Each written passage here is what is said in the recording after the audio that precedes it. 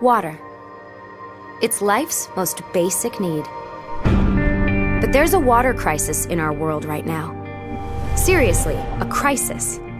Nearly 1 billion people live without clean drinking water. It's happening all over the world, especially in developing areas of sub Saharan Africa, Southeast Asia, and Latin America. It's a water crisis because it starts with water. But water affects everything education, health, poverty, and especially women and children.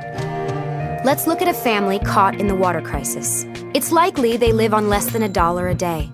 When they're thirsty, they can't just turn on the faucet for a nice cold glass of water. They don't have a faucet. Instead, the women and children go off to collect water.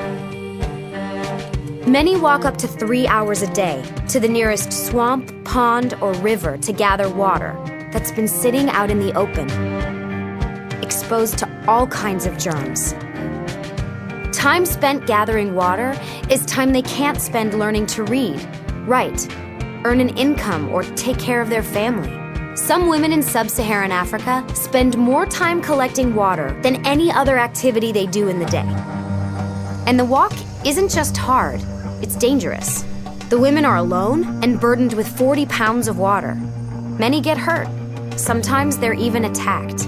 When they make it home, the little water they've collected isn't clean. Some families know their water is contaminated with germs that cause diarrhea, dehydration, even death.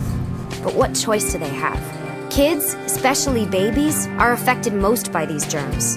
About every 19 seconds, a mother loses one of her children to a water related illness. And each day, almost a billion people are living this way.